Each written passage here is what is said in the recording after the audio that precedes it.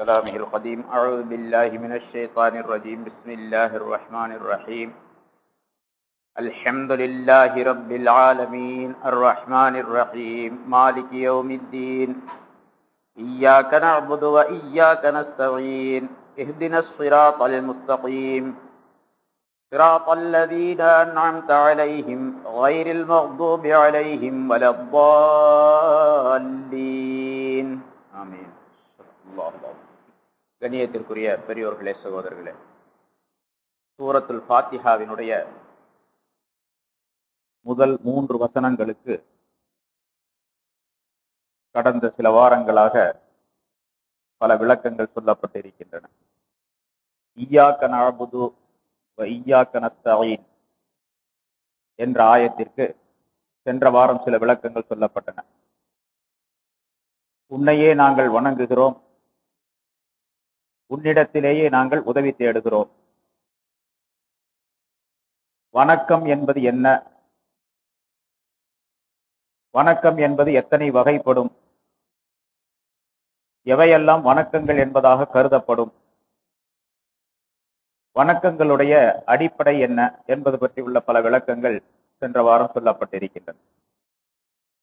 அதாவது உன்னையே நாங்கள் வணங்குகின்றோம். நஅபுது என்ற வார்த்தைக்குள்ளே மனிதர்கள் மூமினானவர்கள் செய்யக்கூடிய எல்லா வணக்கங்களையும் அல்லாஹால குறிப்பிடுகின்றான்.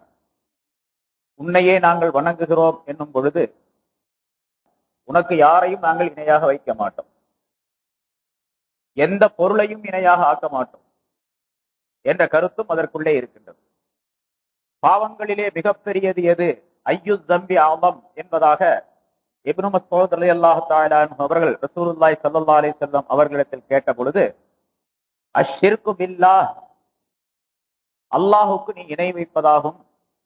வஹுவ ஹலகக் அவன் உன்னை படைத்திருக்கும் நிலையில் என்று ஸல்லல்லாஹு அலைஹி வஸல்லம் சொல்லி காட்டினார்கள். இஸ்மாயில் அலைஹிஸ்ஸலாம் அவர்களை அறுக்கும் பொழுது கத்திக்கு அல்லாஹ் தஆலா உத்தரவு போட்டா நீ அறுக்காதே என்று அறுக்கவில்லை. பக்கத்தில் இருக்கக்கூடிய ஒரு பாறை துண்டை உடைத்தெறியக்கூடிய அந்த கத்தி இஸ்மாயில் அலி இஸ்லாம் அவருடைய கழுத்தை அறுக்கவில்லை. இது அல்லாஹால அந்த கத்திக்கு உத்தரவு போட்டார். இ- இப்ராஹிம் அலி இஸ்லாம் அவர்களை நம்ரூத் நெருப்பிலே போட்டார். நெருப்புக்கு அல்லாஹாலா கட்டளையிட்ட நீ கரிக்காதே சுடாதே என்று. யானாரு கூனி மருந்தம் அல்லாஹாலா குரான் அழகாக சொல்லி தருகின்றான். நீ குளிர்ச்சியாக ஆகிவிடு. அது துன்பம் தரும் குளிர்ச்சி அல்ல இன்பம் தரும் குளிர்ச்சியாக ஆகிவிடு பர்தம் வசலாமா இனிமையான குளிர்ச்சியாக ஆகிவிடு. என்று அல்லாஹால உத்தரவு போட்டான். அந்த நெருப்புக்கு என்ன தன்மை இருக்கின்றது என்ன தன்மையை அல்லாஹ் கொடுத்து வைத்திருக்கின்றான் அந்த நேரத்தில் அதை நீக்கி கொண்டது. தன்னுடைய ஆற்றலை. சுடவில்லை. கரிக்கவில்லை. அவர்களுடைய உடையை கூட அது கரிக்கவில்லை. மேனியை மட்டுமல்ல உடையை கூட கரிக்கவில்லை. கரிக்கவில்லை என்பது மட்டுமல்ல. அது ஒரு பூங்காவாக மாறிவிட்டது. இனிமையான பூங்காவாக அழகான பூங்காவாக என்றும் அல்லாஹத்தால சொல்லித் தருகின்றார் அவர்கள் அந்த நெருப்பு குண்டத்திற்கு அப்பால் வெளியில் இருக்கக்கூடிய நேரத்துல அப்படிப்பட்ட ஒரு சுகத்தை அனுபவித்ததே கிடையாது. இப்ராஹிம் அலைஹிஸ்ஸலாம் அவர்கள். நெருப்பு குண்டத்திலே எவ்வளவு நேரம் இருந்தார்களோ எவ்வளவு காலம் இருந்தார்களோ அந்த காலம் முழுவதும் சொர்க்கத்தில் இருப்பதை போன்று இருந்தார்கள் என்பதாக சொல்லப்பட்டு இருக்கின்றது இப்பொழுது கரிக்கக்கூடிய சுட்டு பொசுக்கக்கூடிய நெருப்பை அல்லாஹத்தாலா தன்னுடைய உத்தரவை கொண்டு அது வேறொரு விதமாக அதற்கு நேர் மாறான ஒரு அமைப்பை உண்டாக்கி விட்டார். இந்த எண்ணம் ஒவ்வொரு மூமினான மனிதனிடத்திலும் வர வேண்டும். அந்த எண்ணத்தை ஊட்டுவது இயாக்க என்பது. நான் நாம் ஈயாக்கனாவது உன்னையே நாங்கள் வணங்குகின்றோம் என்று சொல்லும் பொழுது இந்த எண்ணம் எல்லாம் வர வேண்டும். ஆக எல்லா வகையான சிற்கை விட்டும் சிற்க ஜலி சிற்க ஹபி பகிரங்கமான இணை மறைமுகமான இணை அனைத்தை விட்டும் நீங்கக்கூடிய தன்மை அந்த ஈயாக்க நாபுது என்பதற்குள்ளே இருக்கின்றது. அந்த எண்ணம் சொல்லும் பொழுது வர வேண்டும். அதியிபுன் ஹாத்தம் என்ற ஒரு சஹாபி. ஹாத்தம் தாய் அப்படின்னு வரலாற்றுல சொல்லப்படுது அவருடைய மகன்.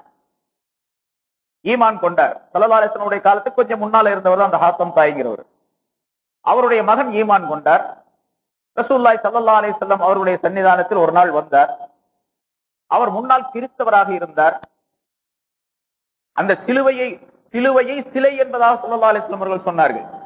ஏன் நான் சிலையை வைத்துக் கொண்டிருக்கவில்லை என்பதா உன்னுடைய கழுத்திலே இருக்கக்கூடிய அந்த அதை நான் சொல்லுகின்றேன் என்பதாக சொன்னார். அதே போன்று அதே அதிகம் ஹாத்தம் சொல்லி அல்லாஹாலா அவர்களுக்கு மற்றொரு தடவை ஒரு கட்டளையை சல்லா அலிஸ்லாம் அவர்கள் சொல்லுகின்றார்கள். அவர்கள் கேட்கின்றார்கள் அதிகம் ஹாத்தம் அவர்கள் சல்லா அலிஸ்லாம் அவர்களுடைய அவர்களிடத்திலே கேட்கின்றார்கள். யார சொல்லலாம் அல்லாஹாலா குரானிலே இப்படி ஒரு வாசகத்தை சொல்லி இருக்கின்றானே ஒரு வசனத்தை. அதாவது இத்தகது மின்தூனில்லாஹி அஹபாரகும் ஒரு ஹுபானும் அர்பு அர்பாவம் மின்தூனில்லா அல்லாஹவை விட்டு விட்டு தங்களுடைய பாதிரிமார்களையும் தங்களுடைய குருமார்களையும் தெய்வங்களாக அவர்கள் ஆக்கிக் கொண்டார்கள் என்று கிறிஸ்தவர்களை பற்றி அல்லாஹால சொல்லுகின்றான். வேதக்காரர்களை பற்றி சொல்லுகின்றான். இத்தகதோ அஹபாரகும் ஒரு ஹுபானும் அர்பாவம் மின்தூனில்லா அல்லாஹுவை விட்டுவிட்டு தங்களுடைய பாதிரிமார்களையும் குருமார்களையும் தெய்வங்களாக ஆக்கிக் கொண்டார்கள் என்பதாக அல்லாஹால சொல்லுகின்றானே. அப்படியே கிறிஸ்தவர்கள் யாருமே ஆக்கிக் கொள்ளவில்லையே பாதிரிமார்களை தெய்வங்களாக ஆக்கிக் கொண்டு அவர்களை வணங்கவில்லையே. வணங்கினா தானே தெய்வம்னு அர்த்தம். நான் வணங்க நாங்கள் எல்லாம் யாருமே வணங்கலையே. கிறிஸ்தவர்கள் யாரும் வணங்கவில்லையே தங்களுடைய குருமார்களை. பிறகு எப்படி அல்லாஹ் தாலா சொல்றான்? அப்படிங்கிற ஒரு சந்தேகம் அந்த ஆயத்துக்கு கேட்கிறாங்க. அதீபுன ஹாத்தம். அப்ப சல்லல்லா அலிஸ்லாம் அவர்கள் சொல்லுகின்றார்கள் உங்களுடைய அந்த அகபார்கள் அந்த குருமார்கள் அல்லாஹத்தால உங்களுக்கு தன்னுடைய வேதத்தின் மூலமாக ஹராமாக்கியதை அவர்கள் ஹலால் ஆக்கினார்கள் ஹராமாக்கினார்கள். ஹராம் ஆக்கினார்கள் அதை நம்பிக்கை கொண்டு நீங்கள் செயல்படவில்லையா? என்பதாக கேட்டார்கள். ஆம் அப்படி செய்தார்கள். அதாவது சில பொருள்களை அல்லாஹாலா ஹலால் ஆக்கி வைத்திருந்தான் அது ஹராம் என்பதாக தங்களுக்கு தாங்களே விதித்துக் கொண்டார்கள். அதாவது இந்த குருமார்கள் மக்களுக்கு அப்படி சொல்லிக் கொடுத்தார்கள். இதெல்லாம் ஹராம் இதெல்லாம் செய்யாதீங்க. அல்லாஹ் ஹலால்னு சொல்லியிருக்கிறான். ஆனா அது ஹராம்னு சொல்லி கொடுத்தாங்க மக்களுக்கு. சில விஷயங்களை ஹலால் என்பதாக ஹராம் என்பதாக சொல்லி இருக்குன்னா அதையெல்லாம் ஹலா ஹராம் ஹலால் என்பதாக சொல்லி கொடுத்தார்கள். இந்த குருமார்கள் சொன்னதை கேட்டு அவர்கள் எல்லாம் செயல்பட்டார்கள் அல்லவா? ஆமா செயல்பட்டார். அதுதான் இத்தகது அர்பாபன் அப்படிங்கிற அர்த்தம். தெய்வங்களாக ஆக்கி கொண்டார்கள் அப்படிங்கிற அர்த்தம் அதுதான். என்று சல்லா அலிஸ்லாம் அவர்கள் சொன்னார் ஆக தெய்வங்களாக ஆக்கிக் கொள்வது என்பது அதை வணக்கம் செய்வது அந்த ஆள்களை வணங்குவது என்பது மட்டுமல்ல. அல்லாஹால எந்த சட்டங்களை சொல்லி காட்டுகின்றனோ அந்த சட்டங்களுக்கு மாற்றமாக தன்னுடைய குருமார்கள் தன் யார் மீது இவர் பக்தி வைத்திருக்கின்றார்களோ அவர்கள் செய்ய சொல்லக்கூடிய சொற்களை எல்லாம் கேட்டு ஹலாலை ஹராமாக ஆக்கிக் கொள்வது ஹராமை ஹலாலாக ஆக்கிக் கொள்வது இதுவும் ஒரு வகையான ஷிர்க் இணை வைத்தல் தான் என்பதை சல்லா அலிஸ்லாம் அவர்கள் சொல்லி காட்டுகின்றார் நம்ம பார்க்கிறோம் சில ஷெய்குமார்கள் இருக்கிறாங்க. நம்மள முஸ்லிம்கள்ல சில ஷெய்குமார்கள். இந்த ஷெய்குமார்கள் அவர்கள் தங்களுடைய அறிவின்படி அல்லாஹுடைய வேதத்திலும் ரசூல் சல்லல்லா அலிஸ்லாம் அவருடைய ஹதீஸ்களிலும் தங்களுடைய அறிவை மட்டும் பயன்படுத்தி சில விஷயங்களை ஹராமை ஹலால் என்றும் ஹலாலை ஹராம் என்றும் தங்களை சார்ந்தவர்களுக்கு தங்களுடைய சிஷியர்களுக்கு சொல்லிக் கொடுக்கக்கூடிய முறைகளை சில ஷேகுமார்களிடத்தில் நாம் கா- காணுகின்றோம். போலி ஷேகுமார்கள் இப்பொழுது அவர்கள் யார் அந்த செய்குமார்களை பின்பற்றுகின்றார்களோ அவர்கள் அந்த ஷேகுமார்களை தெய்வங்களாக ஆக்கி கொண்டவர்கள் தான் ஏன்னா அல்லாஹத்தால ஹராம் என்று சொல்லி இருக்குன்னா இவங்க ஹலால்னு சொல்றாங்க. சில விஷயங்கள். பல செய்குமார்கள் அந்த மாதிரி இருக்கிறாங்க. அதெல்லாம் விளக்கி சொல்ல வேண்டிய அவசியம் இப்ப இல்லை. அது அந்த இடம் வரும்போது நம்ம சொல்லுவோம் இந்த மாதிரி மனிதர்களை அவர்கள் அல்லாஹத்தால எந்த சட்டங்களை சொன்னாலும் அதுக்கு மாற்றமாக செயல்படுத்த வேண்டும் என்று மக்களுக்கு சொல்லிக் கொடுத்து அந்த மக்கள் அவர்களை பின்பற்றும் போது அவர்களை தெய்வங்களாகத்தான் ஆக்கிக் கொள்ளுகின்றனர். இந்த நிலைகளை எல்லாம் விட்டு நாங்கள் நீங்கிக் கொண்டோம் அப்படிங்கிற அர்த்தம் ஈயாக்க நாபுது அப்படிங்கிறது. அல் அஹ், பராத் அல் பராத் மின ஷிர்க். எல்லா ஷிர்க்குகளை விட்டும் நீங்குதல் என்பது ஈயாக்க நாபுது என்பதற்குள்ளே இருக்கின்றது. அடுத்ததாக ஈயாக்கன அதுக்கு நிறைய விளக்கங்கள் சென்ற வாரம் அதற்கு முத வாரம் சொல்லப்பட்டு இருக்கின்றது ஈயாக்க உன்னிடத்திலே நாங்கள் உதவி தேடுகின்றோம் என்பது அடுத்தது. இப்ப ஈயாக்க நாபுது வணக்கம் என்பதை வணங்குகின்றோம் என்பதை முந்தி சொல்லி அல்லாஹத்தால நஸ்தீன் என்பதை இரண்டாவதாக சொல்லுகின்றார் அதாவது உதவி தேடுதல் என்பதை இரண்டாவதாக சொல்லுகின்றார் இந்த இரண்டாவது வாசகம் இருக்கின்றது இது. முதல் வாசகம் சிற்கு அனைத்தை விட்டும் நீங்கிக் கொள்ளுதல் அப்படிங்கறத அறிவிக்குது. எல்லா சிற்கை விட்டும் நீங்கிக் கொண்டோம் அப்படிங்கிற அர்த்தம். உன்னிடத்திலேயே நாங்கள் உதவி தேடுகின்றோம் என்று சொல்லும் பொழுது அல் பராத்தும் மின் தூக்கத்தில் இன்சான் மனிதனுடைய சக்தி அனைத்தை விட்டும் நாங்கள் நீங்கி விட்டோம் அப்படிங்கிற அர்த்தம் எங்களுக்கு எந்த சக்தியும் கிடையாது. எல்லா சக்திகளும் உன்னை சார்ந்ததுதான். உன்னையே நான் வணங் உன்னையே நாங்கள் வணங்குகின்றோம் என்பதாக உன்னிடத்தில் நாங்கள் கோரிக்கையை சமர்ப்பித்தோம். எங்களுடைய விண்ணப்பத்தை நாங்கள் வைத்தோம். ஆனால் அதே நேரத்தில் நாங்கள் உன்னையே வணங்க வேண்டும் என்று சொன்னால் அதற்குரிய உதவியை ஆற்றலை தர வேண்டியதும் நீதான். உன்னிடத்த உன்னால் தான் அது முடியும். நீ அல்லாமல் நாங்கள் யா- வணங்க முடியாது. வணக்கம் செலுத்துவதும் உன் மூலமாகத்தான் முடியும். உன்னுடைய சக்தியை கொண்டுதான் முடியும். உன்னுடைய உதவியை கொண்டுதான் முடியும். என்பதை அடுத்து விண்ணப்பிக்கக்கூடிய தன்மை. ஈயா நஸ்தாவை அதனாலதான் ஆனா அசலாக எப்படி வரணும்னு கேட்டா முதல்லதான் உதவி தேடுவது ரெண்டாவது வணக்கம் அப்படிங்கிறது வரணும். ஒரு வணக்கம் செய்வதற்கு ஒரு வேலை செய்வதற்கு முதல்ல உதவி தேடுதல் என்பதுதான் முதல்ல வரணும். நியாயப்படி. ஆனா உதவி தேடுதல் என்பது இரண்டாவதாக அல்லாஹத்தாலா சொல்லுகின்றான் இங்கே. ஏன் ரெண்டாவதா சொன்னா இந்த உதவி தேடுதல் என்பது முதலாவதாக அந்த வணக்க வணக்கம் என்பது உதவி தேடுதல் அசலாக இருக்கின்றது. அதெல்லாம் அல்லாஹத்தால முதல்ல வணக்கம் என்பதை சொல்லி நாபுது உன்னையே நாங்கள் வணங்குகின்றோம் என்பதாக சொல்லி இந்த உதவி தேடுதல் என்பதனுடைய அசல் நோக்கம் என்னவென்று சொன்னால் வணங்குதல் தான். அதனால ஈயாக்க நாபுது என்பதை முதலாவதாகவும் ஈயாக்க வையாக்க நஸ்தாயின் என்பதை இரண்டாவதாகவும் அல்லாஹத்தாலா குறிப்பிடுகின்றான் என்று விளக்கம் தரப்பட்டு இருக்கின்றது உன்னிடத்திலேயே நாங்கள் உதவி தேடுகின்றோம் என்பதாக சொல்லும் பொழுது சென்ற வாரம் அதற்கு சில விளக்கங்கள் சொல்லப்பட்டிருக்கின்றன.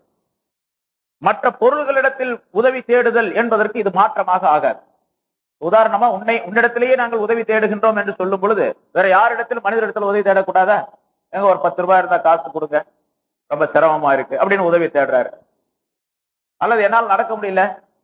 கொஞ்சம் கையை பிடிச்சிங்க அது வரைக்கும். கொண்டு போய் என்ன விட்டுடுங்க. என்று சொல்லுவதும் உதவி தேடுதல். உட்கார்ந்து இருக்கிறாரு ஒரு வய வயசானவர் எந்திரிக்க முடியல. தம்பி கொஞ்சம் கையை பிடிப்ப தூக்கி விடுப்பா அப்படின்னு சொன்னா அதுவும் உதவி தேடுதல் தான். இதே போன்று ஏராளமான உதவி தேடுதல் ஒவ்வொரு நாளும் நம்மிடத்தில் நடந்து கொண்டு இருக்கின்றது. ஒவ்வொரு நாளும் நடந்து கொண்டு போன வாரம் கூட சொன்ன கண்கள் மனிதனுக்கு பார்க்கக்கூடிய ஒரு கருவியாக ஆக்கப்பட்டு இருக்கின்றது பார்ப்பதற்கு உதவியாக கண்கள் அமைக்கப்பட்டு இருக்கின்றன கேட்பதற்கு உதவியாக காதுகள் அமைக்கப்பட்டு இருக்கின்றன நடப்பதற்கு உதவியாக கால்கள் அமைக்கப்பட்டு இருக்கின்றன பிடிப்பதற்கு உதவியாக கைகள் அமைக்கப்பட்டு இருக்கின்றன சிந்திப்பதற்கு உதவியாக மனிதனுடைய மூளை அமைக்கப்பட்டிருக்கின்றது. இப்படியெல்லாம் மனிதனுடைய உடலில் உள்ள உறுப்புகள் அனைத்துமே மனிதனுக்கு உதவி செய்யக்கூடியவையாக அமையப்பட்டிருக்கின்றன. அப்படின்னா அல்லாஹ் உன்னிடத்திலேயே நாங்கள் உதவி தேடுகின்றோம் அப்படிங்கிறது என்ன பொருள் அது? ஆஹ் இந்த பொருள்களில் பொருள்களிடத்திலே மனிதர்களிடத்திலே உதவி தேடுவது என்பது அல்லாஹிடத்தில் உதவி தேடுவது என்பதற்கு மாற்றமாக ஆகாது. காரணம் என்ன கேட்டால் இஸ்தியானத் நஸ்தீன் என்பதனுடைய வேர்ச்சொல். அசல் சொல்லுவது இஸ்தியானத் எப்படி நாபுது என்பதனுடைய வேர்ச்சொல் இபாதத் என்று சொன்னோமோ அதை போல நஸ்தீன் என்பதனுடைய வேர்ச்சொல் இஸ்தியானத் அந்த இஸ்தியானத் என்பது ரெண்டு வகை இருக்கு. இஸ்தியானத்தை மாத்தி இஸ்தினா இஸ்தியானத்தை வைர மாத்தி. அசலியத்தான அசலான இஸ்தியானத் உதவி தேடுதல் அது அல்லாத வேறொரு உதவி தேடுதல் அப்படிங்க. அசலாக உதவி தேடுதல் என்பது அல்லாஹாலாவிடத்திலேயே இருக்க வேண்டும். அதான் முன்னால் அந்த எபாதத்துக்கு எப்படி சொன்னமோ அதே போன்றுதான் இஸ்தியானத் உதவி தேடுதல் அப்படிங்கிறதுக்கும் அசல் அல்லாஹாலாவிடத்தில் தான் உதவி தேடுதல். மற்ற மனிதர்களிடத்திலோ அல்லது பொருள்களிடத்திலோ உதவி தேடுவது என்பது அது அசல் அல்ல. அது ஒரு காரணமாக அல்லாஹத்தால ஆக்கி வைத்திருக்கின்றார் ஒருத்தர்கிட்ட போய் பணம் கேட்கிறோம் கடன் கேட்கிறோம் உதவி கேட்கிறோம் அல்லது வேறு வகையான ஏதாவது உதவி கேட்கின்றோம் பண உதவியோ அல்லது மற்ற உதவிகளோ கேட்கின்றோம் என்று சொன்னால் இந்த உதவி அவர் எனக்கு அந்த பணத்தை கொடுப்பதும் நான் அவரிடத்தில் கேட்பதும் அவர் எனக்கு கொடுப்பதும் எல்லாம் அல்லாஹாலாவுடைய நாட்டப்படி நடப்பதுதான். அல்லாஹாலா அவருடைய மனதிலே கொடுக்க வேண்டும் என்ற நாட்டத்தை போடாவிட்டால் அவர் எனக்கு கொடுக்க முடியாது. எனக்கு உதவி செய்ய வேண்டும் என்ற நாட்டத்தை அல்லாஹாலா அவருடைய உள்ளத்திலே போடாவிட்டால் அவர் எனக்கு கொடுக்க கொடுக்க முடியாது. கொடுக்கக்கூடிய தன்மை அவரிடத்திலிருந்து ஏற்படாது. இப்பொழுது கொடுப்பதற்கு அசலாக இருக்கக்கூடிய அந்த உதவி அல்லாஹின் புறத்திலிருந்து தான் வருகின்றது. அது இஸ்தியானத்தை மாத்தி என்பதாக சொல்லப்படும். அவர் எனக்கு கொடுக்கின்றார் என்று சொன்னால் இது வைர மாத்தி. அது அசல் அல்லாத இரண்டாம் தரமான ஒரு உதவி. ஆனால் கொடுப்பதற்கு அசலாக இருப்பது அல்லாஹத்தால இது எப்படி என்று சொன்னால் மழை பெய்கின்றது. மழை பெய்தால் பூமி எல்லாம் நன்றாக நனைந்து அதிலிருந்து புற்பூண்டுகள் முளைக்கின்றன. செடி கொடிகள் பயிர் பச்சைகள் எல்லாம் விளைகின்றன. இப்ப சாதாரணமாக மக்களிடத்துல என்ன? மழை நல்ல மழை பெஞ்சுங்க. பயிரெல்லாம் நல்லா விளைஞ்சிருக்குது. அப்படின்னு சொல்றாங்க. நல்ல மழை பெய்தது பயிர் விளைந்திருக்கின்றது அப்படின்னு சொல்றோம் ஆனா உண்மையிலேயே மழை பெய்ததின் காரணமாக இந்த செடிகள் எல்லாம் பயிர்கள் எல்லாம் விளைந்தனவா? மழைக்கு இந்த பயிர்களை விளைய வைக்கக்கூடிய முளைய வைக்கக்கூடிய சக்தி இருக்குதா? கேட்டா கிடையாது. மழைக்கு தண்ணீருக்கு அந்த சக்தி கிடையாது. மாறாக அல்லாஹாலா அந்த தண்ணீருக்கு அந்த பூமிக்கு அந்த சக்தி அல்லாஹால கொடுக்கின்றான் அந்த நேரத்தில். சில இடங்கள்ல பாக்குறோம் மழை பெய்யுது நிறைய. ஆனா பயிர்கள் விளைவது கிடையாது. மழை இருக்குது. பூமியும் வளமான பூமி தான் ஆனா இருக்குது பயிர்கள் செடி கொடிகள் விளைவது என்பது காய்கறிகள் பழங்கள் விளைவது என்பது நடைபெறுவதில்லை. இப்பொழுது அந்த இடத்திலே அல்லாஹால அந்த பூமிக்கும் அந்த மழைக்கும் அந்த நீருக்கும் அல்லாஹால கட்டளையிடவில்லை. அங்கே. அல்லாஹால தன்னுடைய நாட்டத்தை அதன் மீது செலுத்தவில்லை. ஆகவே அது விளைய வைக்கவில்லை. சில இடங்களிலே அது விளைகின்றது. இப்பொழுது அந்த இடத்தில் அல்லாஹால தன்னுடைய நாட்டத்தை செலுத்துகின்றான் என்று பொருளாகும். அரபியில சொல்லப்படும். அன்பத்தல்லாஹுல் பகல. அல்லாஹால செடி கொடிகளை காய்கறிகளை முளைய வைத்தான் விளைய வைத்தான். இது அசல் இது ஹசீகி என்பதாக சொல்லப்படும். அன்பத்தர் ரபியோ அல் பகல். மழை காய்கறிகளை செடி கொடிகளை முளைய வைத்தது. அப்படின்னு சொன்னா இது மஜாசி என்று சொல்லப்படும். ஒரு மனிதனை பார்த்து சிங்கத்தை போல இருக்கிறான்பா சிங்கம். அப்படின்னு சொன்னா சிங்கம் என்று சொன்னால் காட்டிலே இருக்கக்கூடிய அந்த சிங்கமாக இவன் ஆவதில்லை. அசலாக காட்டிலே இருக்கக்கூடிய வன விலங்கு இருக்கின்றதே. நாலு காலு ஒரு வாலு அதனுடைய பிடரி முடி இருக்கக்கூடிய ஒரு பொருளுக்கு ஒரு உயிர் இனத்திற்கு பெயர் சிங்கம் என்பதாக நாம் சொல்லுகின்றோம். ஆனா ஒரு மனிதனை பார்த்து இவன் சிங்கம் சிங்க குட்டிந்தாள் அப்படின்னு சொன்னா இவனுக்கு நாலு காலு ஒரு வால் இருக்குது ஒரு வால் இருக்குது அப்படிங்கிற அர்த்தம் அல்ல இப்ப சிங்கம் அப்படின்னு சொன்னா எந்த விஷயத்திலே இவன் சிங்கம்? வீரத்திலே சிங்கத்தை போன்று இருக்கிறான் அப்படின்னு அர்த்தம். வீரத்திலே சிங்கத்தை போன்று இருக்கின்றான். இப்ப அந்த நாலு கால் ஒரு வால் உள்ள அந்த பிராணி இருக்கின்றது காட்டு பிராணி அதற்கு சிங்கம் என்று சொன்னால் அந்த பிராணிக்கு அசல் பேர் சிங்கம் தான். அதற்கு பேர் ஹசைக்கு. உண்மையான அர்த்தம் ஒரு மனிதனை பார்த்து சிங்கம் என்று சொன்னால் இவன் உண்மையான பிராணி மிருகம் என்ற அர்த்தம் அல்ல வீரத்திலே இவன் சிங்கமாக இருக்கின்றான். இதற்கு பேர் மஜாதி. இரண்டாம் தர அர்த்தம் பொருள் அப்படின்னு அர்த்தம். அது போல அல்லாஹ் செடி கொடிகளை காய்கறிகளை விளைய வைக்கின்றான் விளைய வைக்கின்றான் என்று சொன்னால் இது ஹசைக்கு. அல்லாஹாலா தான் விளைய வைக்கிறான். மழை விளைய வைத்தது முளைய வைத்தது என்று சொன்னால் இது மஜாஜி எப்படி ஒரு மனிதனை பார்த்து சிங்கம் என்று சொல்லுகின்றோமே அது போன்று அதே போல ஈயாக்க நஸ்தாவையின் உன்னிடத்திலேயே நாங்கள் உதவி தேடுகின்றோம் என்பதாக அல்லாஹாலாவுடைய சன்னிதானத்தில் கைகட்டி சொல்லிவிட்டு மனிதனிடத்தில் போய் எனக்கு கொஞ்சம் பொருள் கொடு உதவி கொடு என்று கேட்டால் அந்த உதவி கைர மாத்தியாக ஆகின்றது. அதாவது அசலான உதவி தேடுதல் அல்ல அசலாக உதவி தேடுதல் என்பது அல்லாஹாலாவிடத்தில் தான். இது இரண்டாம் பட்சமாக மனிதனிடத்திலே மற்ற பொருளிடத்திலே நம் உதவியை தேடுகின்றோம் என்று அதற்கு பொருளாகும். ரசூல்லாய் சல்லா அலி சொல்லம் இபின் அப்பாஸ் அலி அல்லா தாலான் அவர்களுக்கு சொல்லக்கூடிய ஒரு ஹதீஸிலே நீண்ட ஹதீஸிலே சொல்லுகின்றார். நீ உதவி தேடினால் அல்லாவிடத்திலேயே தேடு அப்படின்னு சொல்றாங்க. இதுவும் அந்த கருத்துல தான். இப்ப சொன்ன ரெண்டு அர்த்தத்துல. அதாவது அல்லாவிடத்திலே தேடு சொன்னா அல்லாஹ்விடத்துல தான் தேட மற்ற யாரிடத்திலும் எதையும் கேட்க கூடாது அப்படிங்கிற அர்த்தம் அல்ல. மற்றவரிடத்திலும் கேட்பது உதவிதான். உதவி கேட்கலாம். உதவி கேட்பதற்கு அனுமதி இருக்கின்றது. ஆனால் அப்படி கேட்கக்கூடிய நேரத்திலே அல்லாஹுதான் இவர் மூலமாக எனக்கு என்னுடைய தேவையை நிறைவேற்றி வைக்கிறான் அப்படிங்கிற எண்ணம் இருக்கு. இவர் எல்லா தேவைகளையும் எனக்கு நிறைவேற்றி வைப்பார் என்று எந்த மனிதரின் மீது நம்பிக்கை வைக்கக்கூடாது. அவர் எவ்வளவு பெரிய ஆளா இருந்தாலும் சரி. இவர் என்னுடைய தேவைகள் அனைத்தையும் நிறைவேற்றி வைப்பார்.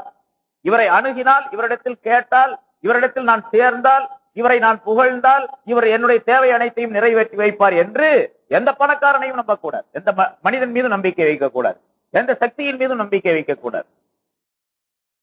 நிறைவேற்றி வைக்கக்கூடிய பொறுப்பு அனைத்தும் விஷயம் அனைத்தும் அல்லாஹாலாவுக்கே சொந்தம். ஆனால் இந்த மனிதர்களை அல்லாஹால காரணமாக ஆக்கி வைத்திருக்க அதனால கேட்பதும் ஒரு வகை இஸ்தியானத்து தான்.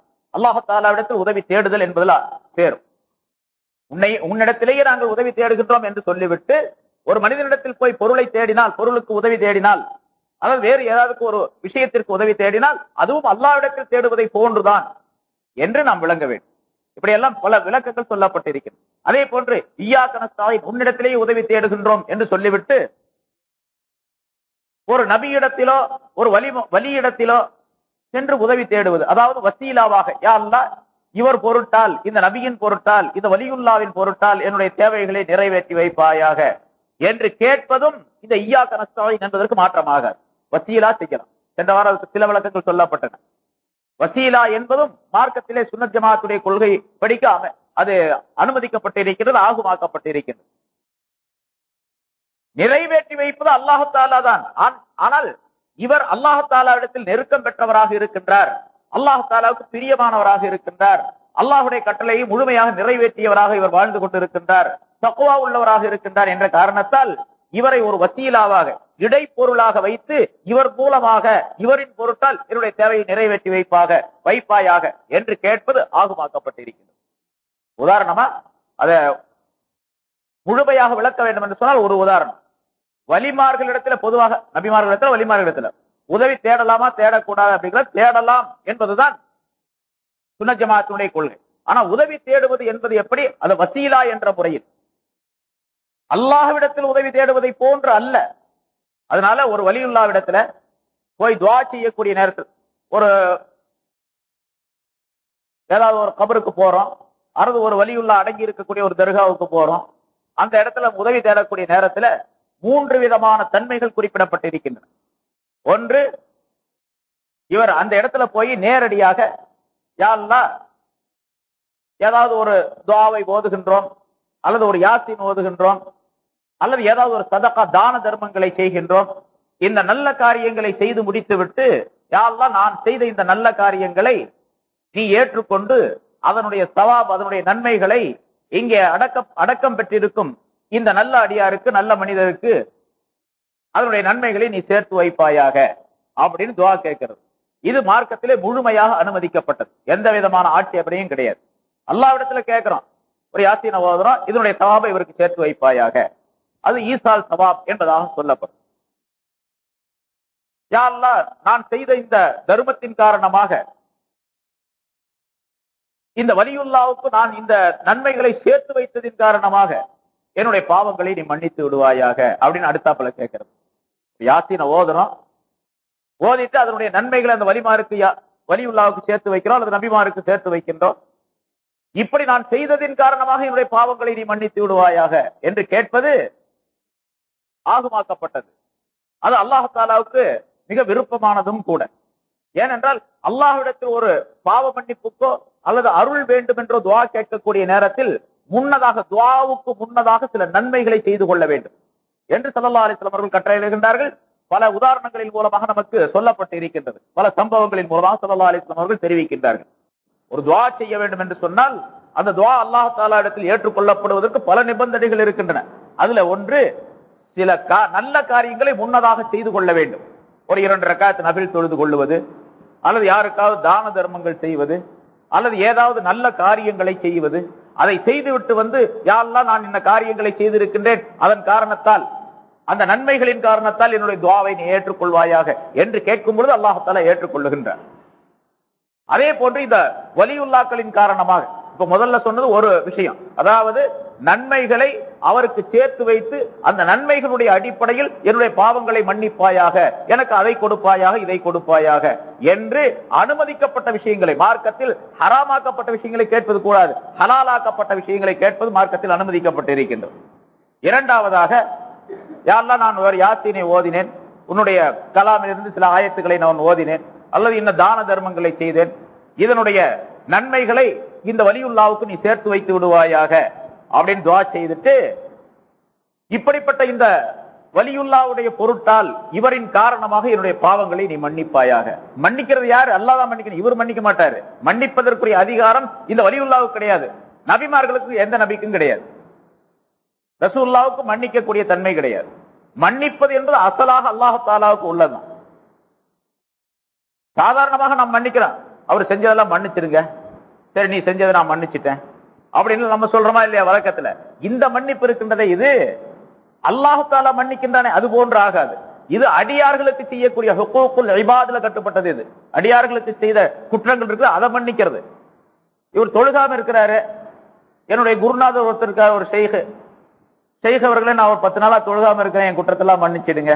அப்படின்னு அந்த செய்கிட்ட போய் கேட்டா ஆமா சரி சரி நீ சரி நான் மன்னிச்சிட்டேன். அப்படின்னு இந்த பாதிரி சொல்றாருல்ல பாதிரியாருடைய கிறிஸ்தவர்கள்ல பாதிரியாருடைய நிலை அப்படி.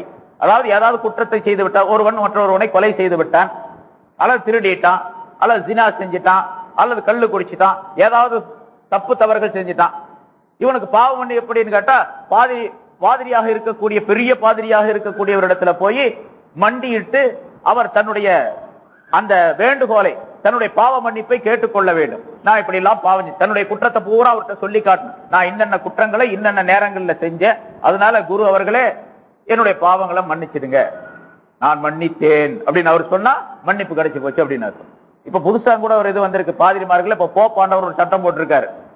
இப்ப பாவத்தை அப்படி குருநாதர் அந்த பாதிரியார் மன்னிக்கிறது அப்படின்னு சொன்னா அந்த பாதிரியார் எந்த சர்ச்சில் இருக்கிறாரோ அந்த இடத்துல போய் குறிப்பிட்ட ஒரு அறை இருக்கும் ஒரு ரூம் அந்த ரூமுக்குள்ள போய் அவரிடத்தில் தனிப்பட்ட முறையில இவர் செய்த அந்த குற்றங்களை எல்லாம் சொல்லி சொல்லி ஒவ்வொன்றாக சொல்லி காட்டி அதை மன்னிக்க வேண்டும் என்பதாக இவர் தாழ்மையோடு மண்டியிட்டு கேட்டுக்கொள்ள வேண்டும். அப்படி கேட்டுக்கொண்டு அவர் மன்னித்தேன் அப்படின்னு சொல்லுவார். இப்படி நடந்துகிட்டு வருது இப்ப. ஆனா இப்போ ஒரு புதுசா ஒண்ணு வந்திருக்குது. இப்படி நேரடியா போய் கேட்கணும்னு அவசியம் இல்ல. சில முக்கியமான ஆள்கள் விஐபி அப்படின்னு சொல்லிட்டு வெரி இம்பார்ட்டன்ட் பர்சன்ட் இருக்காங்கல்ல பர்சன்ஸ் அந்த மாதிரி ஆளுங்க ரொம்ப முக்கியமான ஆளுகளா இருந்தா அவங்க நேரடியா அந்த குரு மாற்றம் பாதிரி மாற்ற போக வேண்டிய அவசியம் இல்ல. டேக்ஸ் மூலமாக அனுப்புனா அவர் மன்னிச்சிடுறாரு இப்போ. டேக்ஸ்லயே மன்னிப்பு கிடைச்சி போயிடுது இப்போ. அன்னைக்கு போட்டிருந்தாங்க. டேக்ஸ் மூலமாக மன்னிப்பு கேட்டுக்கொள்ளுதல் குருவிடத்துல இந்த மன்னிப்பு எல்லாம் இங்க செல்லாது. இப்ப அல்லாஹ் மன்னிப்பது என்பது பாவங்களை அல்லாஹுக்கு செய்த பாவங்களை அல்லாஹுடைய கட்டளைகள் அதாவது அம்ரு நஹி என்று இரண்டு விஷயங்கள். அல்லாஹ் சொன்ன கட்டளைகள் அல்லாஹ் செய்ய வேண்டாம் என்று சொன்ன விலக்கல்கள். இந்த ரெண்டையும் செய்ய வேண்டும் என்று சொன்னதை செய்ய வேண்டும் செய்யக்கூடாது என்று சொன்னதை விட்டுவிட வேண்டும். இதுல ஏதாவது மாற்றி செஞ்சிட்டாரு அதற்குள்ள பரிகாரம் முழுவதும் அல்லாஹாலாவுக்கு தான் சொன்ன வேற யாருக்கும் மன்னிக்கிறதுக்கு அதிகாரம் கிடையாது நபிக்கு கூட கிடையாது. நான் தொழுகாம இருந்தேன் அதனால நபி அவர்களை நீங்க மன்னிச்சிங்க அப்படின்னு சொன்னா அது நபிக்கு அதிகாரம் கிடையாது அல்லாவுக்கு தான் அதிகாரம். நம்ம இப்ப நம்ம சொல்றோமே சாதாரணமாக என்னுடைய குற்றத்தை மன்னிச்சிருங்க. பாவம் போயிட்டு போறான் விட்டுருங்க அவனை மன்னிச்சிருங்க அப்படின்னு அடுத்த ஒரு சிபாரிசு வேற பண்றாரு. இதெல்லாம் வந்து ஹுக்கூக்குல் ஐபாத் மனிதனுக்கு மனிதன் செய்த குற்றங்களை மன்னிப்பது அப்படிங்கிறார். அந்த மன்னிப்பு மனிதர்களிடத்தில் கேட்டுக்கொள்வது கூடும். அல்லாவிடத்தில் அல்லாவிடத்தில் தான் கேட்க வேண்டும் என அல்லாவிடத்தில் கேட்பது அடுத்ததாகத்தான். இவர் மன்னித்தால் அவர் மன்னிப்பார். இது அந்த பாவ மன்னிப்பு விஷயத்துல நான் முன்னால சொல்லியிருக்கிறேன். சரி இங்கே அப்ப அடி அதாவது வலிமார்களிடத்திலே போய் கேட்பதில்லை அவரை வசீலாவாக வைத்து நான் இன்னென்ன நன்மைகளை செய்தேன் அந்த நன்மைகளுடைய சவாபுகளை இவருக்கு நீ சேர்த்து வைப்பாயாக என்று சொல்லிவிட்டு யாருன்னா இந்த உன்னுடைய நல்லடியாரின் பொருட்டால் இந்த வலியுல்லாவின் பொருட்டால் என்னுடைய பாவங்களை நீ மன்னித்து விடுவாயாக என்று கேட்பதும் கூடும். இரண்டாவது வகை. முதல்ல அல்லாவிடத்திலே கேட்கிறது இரண்டாவது இவரை வலி வசீலாவாக வைத்து கேட்பது. மூன்றாவது ஒரு முறை இருக்கின்றது. நன்மைகளை அதாவது யாசின ஓதனால் அது ஏதாச்சும் தர்மங்கள் செய்யணும் அதை இவருக்கு அந்த நன்மைகளை எல்லாம் ஈசால் சவாப் செய்துவிட்டு வலியுல்லா அவர்களே அவரிடத்திலே நேரடியாக கேட்கிறது. வலியுல்லா அவர்களே நீங்க அல்லாஹிடத்தில் ரொம்ப நெருக்கம் பெற்றவர்கள். இப்ப உதாரணமா அஜ்மீருக்கு போறோம் அல்லது நாகூருக்கு போறோம் வச்சோம் ஷாஹுல் அஜீம் பாட்ஷா அவர்களே நீங்க அல்லாஹுக்கு ரொம்ப நெருக்கம் பெற்றவர். அவர் அங்க அடங்கி இருக்கிறாரா அப்படிங்கறத சந்தேகங்கிறாங்க இப்போ. ஏன்னு கேட்டா இது நாகூர் தர்கா இருக்கு பாருங்க ஷாஹுல் அமீது பாட்ஷாவுடைய தர்கா. இதே மாதிரி ஒரு கபிரிஸ்தான் பர்மாவிலையும் இருக்குதான். அங்கதான் அடங்கினார் அப்படின்னு சொல்றாங்க. அங்கதான் அவங்க அடங்கி இருக்கிறாங்க அப்படின்னு சொல்றாங்க. அன்னைக்கு கூட நான் சொன்னேன் ஹுசைன் அலி அல்லாஹாலா அவர்களுடைய உடல் மட்டும் கர்பலாவில் அடக்கப்பட்டு இருக்கின்றது அதிலும் கூட கர்பலாவில் எந்த இடம் அப்படிங்கறத தகராறு சந்தேகம் எக்திலா கருத்து வேறுபாடு இருக்குது. இப்ப எந்த இடத்துல ஹுசைன் அலி அல்லாஹாலா அவர்களுடைய மசார் என்பதாக கட்டப்பட்டு பெரிய குப்பா எழுப்பப்பட்டிருக்குது அதுலதான் இருக்குதா அப்படிங்கறதெல்லாம் சந்தேகம். ஏனென்றால் அவருடைய உடல் சின்ன பின்னப்படுத்தப்பட்டு விட்டது. துண்டு துண்டாக ஆக்கப்பட்டு விட்டது. அந்த துண்டு துண்டாக ஆக்கப்பட்ட எல்லா உடல்களையும் சதைகளையும் சேர்த்து கொண்டு போய் அடக்கம் செய்தார்களா? அது அங்கங்க அப்படியே அப்படியே விட்டுட்டாங்களா அப்படிங்கறது வேற சந்தேகம் இருக்குது. அதே மாதிரி அதுக்கு அடுத்ததாக முசைன் அல்லாஹாலான அவர்களுடைய தலையை மட்டும் எடுத்துட்டு போயிட்டாங்க. எசீத் இடத்தில் கொண்டு போனார்கள். எசீத் தக்க மரியாதையுடன் மதீனாவுக்கு அனுப்பி வைத்தார் என்பதாக சொல்லப்பட்டிருக்கிறது. அல்லது எசீது அனுப்பவில்லை அவர் ஆட்சி செய்த அந்த டெமாஸ்கஸ் நகரத்திலேயே ஜாமிய மஸ்ஜிதுடைய ஒரு பகுதியில அடக்கப்பட்டு இருக்கின்றது அப்படின்னு சொல்றாங்க. இப்போ கூட நீங்க டெமாஸ்கஸ் போனீங்கன்னு சொன்னா அங்க ஒரு மஸ்ஜிதுல ஹுசைன் நபி அல்லாஹாலான் அவர்களுடைய தலை அடக்கப்பட்ட இடம் அப்படின்னா அந்த மஸ்ஜிதுல எழுதப்பட்டிருக்குது. இப்ப இருக்கு. ஆனா சில உலமாக்கள் சொல்றாங்க சில பேர் சொல்றாங்க சரித்திர ஆசிரியர்கள் இல்ல இல்ல. ஜன்னத்துல் பக்கையில மதீனாவில ஜன்னத்துல் பக்கையில பாத்திமா ரலி அல்லாஹாலா அவர்களுடைய கபருக்கு அருகில அவர்களுடைய தலை அடக்கப்பட்டிருக்கின்றது அப்படின்னா அந்த மேப்ல வேற கொடுக்குறாங்க. எங்க இருக்குன்னே சந்தேகம் சரி. இப்போ ஒரு வலியுல்லா இடத்துல அதுக்காக வேண்டி சொல்றேன் இதை. ஒரு வலியுல்லாவுடைய கபர் இடத்துல போய் நின்று அஜ்மீர் இடத்துல அஜ்மீருக்கு போறோம். ஹாஜா மொஹினுத்தீன் அவர்களுடைய கபருக்கு பக்கத்துல போய் நின்று யாருன்னா ஹாஜா மொஹினுத்தீன் சிஸ்தி அவர்களே நீங்க அல்லாவிடத்துல ரொம்ப நெருக்கம் பெற்றவர்களாக பெரிய வலியுல்லாவாக அல்லாவுக்கு நேசராக நீங்க இருந்தீங்க. அதனால நான் என்னென்ன குற்றங்களை செஞ்சுட்டேன் அப்படின்னு அவர்கிட்ட சொல்றது. இப்ப நான் பல குற்றங்களை செய்திருக்கின்றேன் பாவங்களை செய்திருக்கின்றேன். நீங்க அல்லாஹாலாவிடத்துல சிபாரிசு செஞ்சு என்னுடைய குற்றங்களை அல்லாஹ் மன்னிப்பதற்கு நீங்கள் சிபாரிசு செய்யுங்கள் அப்படின்னு சொல்றது. இந்த மூணாவதாக கூடுமா கூடாதா அப்படிங்கறதுல பெரிய தகராறு இருக்கு. ஆனா பெரும்பாலான உலமாக்கள் இது கூடும் அப்படிங்கிறாங்க சுன ஜமாத்துடைய குல- உலமாக்கல்ல என்ன சில பேர் ஆ அது எப்படி? இவர்கிட்ட போய் என்னன்னு கேட்கறது அல்லாட்ட தான் கேட்கணும் முதல்ல ரெண்டு முறை சொன்ன பாருங்க அதான் ரைட் அதோட நிறுத்திக்க வேண்டியதுதான். இந்த மூணாவது சரியில்லை என்று சொல்லக்கூடியவர்களும் உண்டு. ஆனா செய்யலாம் அப்படிங்கிற ஒரு அனுமதியும் உண்டு அதுல. இவரிடத்துல ஆனா இவர் மன்னிக்கிறதுக்கு அதிகாரம் கிடையாது. இவரிடத்துல இப்படி சொல்றது நீங்க அல்லாஹ்விடத்தில் நெருக்கம் பெற்றவராக இருக்கின்ற காரணத்தால் அல்லாஹ் உங்களின் மீது விருப்பம் உள்ளவனாக இருக்கின்ற காரணத்தால். நீங்கள் எனக்காக வேண்டிய அல்லாவிடத்தில் சிபாரிசு செய்து என்னுடைய பாவங்களை மன்னிப்பதற்கு நீங்கள் வழிவகை செய்யுங்கள். சிபாரிசு செய்யுங்கள் என்பதாக இவரிடத்தில் சொல்லிக் கொள்வது கேட்டுக்கொள்வது எப்படி நம்ம உலக வழக்கத்துல செய்கின்றோமோ? ஒரு பெரிய அதிகாரியை போய் பார்க்கணும். சிஎம் போய் பார்க்க வேண்டியது இருக்கு பிஎம் போய் பார்க்க வேண்டியது இருக்கு. அதுக்கு கீழே உள்ள எல்லா அதிகாரிகளையும் அன்னைக்குதான் மேல கொஞ்சம் கொஞ்சமா போகணும். ஒரே திடீர்னு மேலேயே போக முடியாது. எப்படியாவது நீங்க பார்த்து சிபாரிசீங்க உங்களால கண்டிப்பா முடியுங்க. நீங்க ஏன்னா சிஎம்க்கு ரொம்ப நெருக்கமானவங்க. அதனால கண்டிப்பா உங்களால முடியும். என்று சொல்லி இவரை தாஜா பண்ணி இவரை இழுத்து கொண்டு போய் அங்க போறோம். ஆனா நம்ம காரியத்தை நிறைவேற்றுவது யார்? சிஎம் தான். அல்லது பிஎம் தான். பிரைம் மினிஸ்டர் அல்லது சீஃப் மினிஸ்டர் ஏதாச்சும் செய்யறாரு ஆனா இவரை நம்ம வச்சுக்கிறது எதுக்காக வேண்டி? இவரை நம்ம காரியத்தை நிறைவேற்றுவார் அப்படிங்கிறது அல்ல. இவர் சிபாரிசு செஞ்சு அவர் கேட்பார் அதனால. அத போல இந்த வலியுள்ளாவை சிபாரிசு செய்யக்கூடியவராக ஏன்னா ஆகிரத்துடைய விஷயங்கள் அனைத்தையும் தீனுடைய விஷயங்கள் அனைத்தையும் உலகத்தினுடைய நடைமுறையை ஒட்டித்தான் அல்லாஹத்தால் அமைத்து வைத்திருக்கின்றார். எல்லா விஷயங்களும் பாருங்க உலகத்துடைய நடைமுறையை ஒட்டித்தான் வச்சிருக்கிறான் அல்லாஹத்தால். உலகத்தினுடைய நடைமுறை இல்லாமல் எந்த காரியம் கிடையாது எந்த விஷயம் கிடையாது. அதை போல இதை செய்யலாம் அப்படிங்கிறது பெரும்பாலான உலமாக்கள் சில உலமாக்களுடைய அபிப்பிராயம். செய்யலாம் அப்படிங்கிறது இது மூணு வகையும் ஆகுமாக்கப்பட்டதுங்க. மூணாவதுல இஃப்திலாப் இருந்தாலும் கூட கருத்து வேறுபாடு இருந்தாலும் கூட ஆகுமாக்கப்பட்டது சரி. நாலாவது ஒண்ணு இருக்குது. அதான் கூடாது. அது வலியுல்லா அவர்களே ராஜா மொழியினுদ্দিন அவர்களே ஷாவுல் அமீன் பாஷா அவர்களே நீங்க அல்லாவுக்கு ரொம்ப நெருக்கமானவங்க. என்னுடைய பாவத்தை நீங்க தான் மன்னிக்கணும். நீங்க தான் எனக்கு தேவையான உதவிகளை எல்லாம் செய்யணும். என்னுடைய காரியங்கள்லாம் நிறைவேற்றணும். என்னுடைய கடையை அபிவிருத்தி அபிவிருத்தியாக்கணும். என்னுடைய தொழில பறக்கத்தை தரணும். என்னுடைய நோயை குணப்படுத்தணும். உங்களை தவிர யாரும் நோயை குணப்படுத்த முடியாது. உங்களை தவிர யாரும் என்னுடைய காரியத்தை வெற்றி அடைய செய்ய முடியாது. என்று அவரிடத்திலேயே கேட்பது அல்லாவிடத்தில் கேட்பதை போல.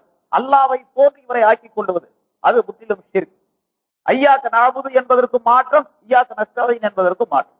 அது அறவே கூடாது. ஹராம். ஷிர்க் என்பதாக ஆக்கப்பட்டிருக்கு ஆனா இதை சில பேர் கூடுங்கிறாங்க அப்படி சில பேர் இருக்கிறாங்க. இந்த மாதிரி நாலாவது வகை இருக்கு பாருங்க. இது கூடும் என்று சொல்லக்கூடியவர்களும் இருக்கின்றார் அவங்கதான் கபருக்கு சந்தனம் போடலாம் பூசலாம் போர்வை போத்தலாம் விளக்கு எரிக்கலாம் அங்க கேண்டில் கொளுத்தலாம் சஜிதா செய்யலாம் மண்ணை எடுத்து சாப்பிடலாம் சந்தன கூடு எடுக்கலாம் அங்க எல்லா விதமான செ- செயல்களையும் செய்யலாம் அப்படின்னு சொல்லக்கூடியவங்க இந்த இதை கொண்டு இருக்கக்கூடியவங்க அப்படி பல பேர் இருக்கிறாங்க. ஆனா சுனஜமாத்துடைய கொள்கைப்படி வளமாத்துடைய பத்வா முடிவின்படி நிச்சயமாக இந்த நாலாவது வகை அறவே கூடாது. ஹராம் என்பதாக ஆக்கப்பட்டிருக்கிறது. ஆக ஈயாக்க நஸ்தாயின் என்பதன் மூலமாக இந்த விஷயங்களை எல்லாம் நாம் கவனிக்க வேண்டும்.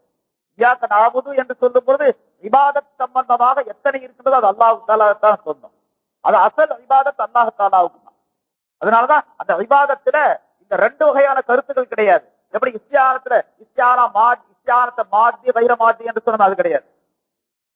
அது அசலானது அசல் அல்லாதது அப்படின்னு சொல்லி ஹசீகை மஜாஜி என்று சொன்னமே. அந்த நிலை அந்த அறிவாதத்துக்கு என்பது நிலை கிடையாது. எந்த வகையான அரிபாதத்தும் கூடாது.